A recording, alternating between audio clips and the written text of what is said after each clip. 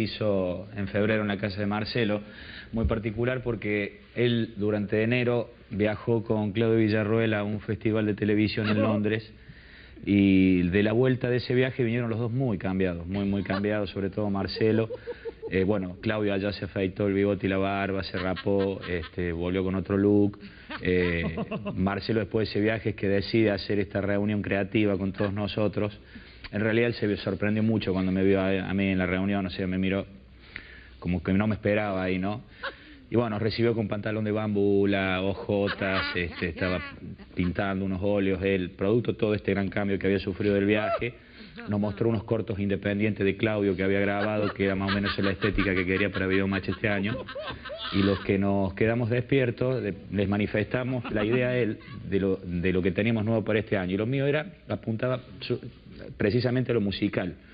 Este, le comenté cuál era la idea, y él, bueno, él seguía con el control de la video, adelantando, retrocediendo, viendo imagen, y yo le hablaba.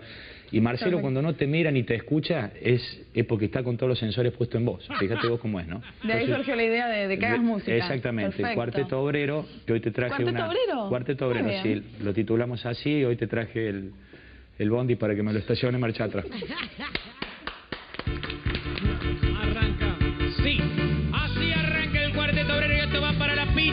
se faenó a más de la mitad de Mendoza, para el negro Carlito que me entrega el guardabarro del Chevy 76 y lo termino de armar, para el loco Oliver que adulteraba aceite, lo casaron, loco, adulterar aceite no es tan grave, y para mí un Madeler que me aguante, el trajecito, dos meses más y se lo devuelvo y está todo bien.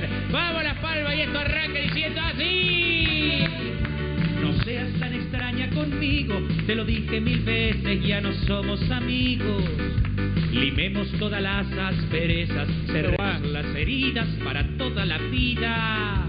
Arreglemos rápido los asuntos que tenemos pendientes para caminar juntos. Amor es esa causa pendiente, con el juicio lo ganan dos almas diferentes.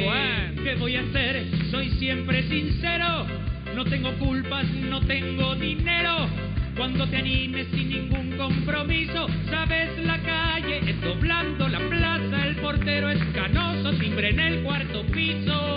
Vení, vení, vení, no seas pavota, venite a mi casa y chúpame la chota.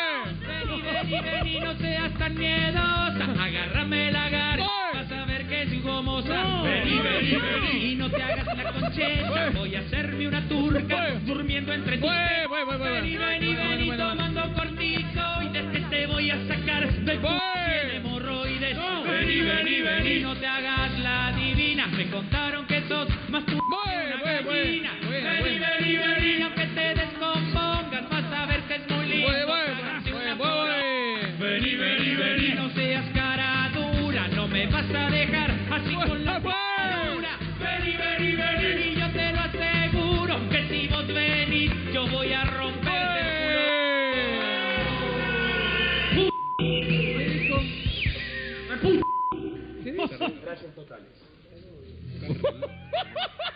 Yo no lo conocía. Sin, pa- sin palabras. te haces? ¿Vos se lo cantaste a ella o es así el tema para quien le calce? Un momentito. No, Vos sos boludo, soy sincero, no pensé en vos en el momento en escribirlo, pero ya que lo tenía escrito, sos lo único acá que se le puede dedicar a algo, entonces Pero es una cagada eso. Eso me está dedicando. Eso me está dedicando. Si querés no te lo dedico, como quieras. O sea, Es muy fuerte ya, yo soy una grosería. A ver, a ver, ¿me pueden explicar?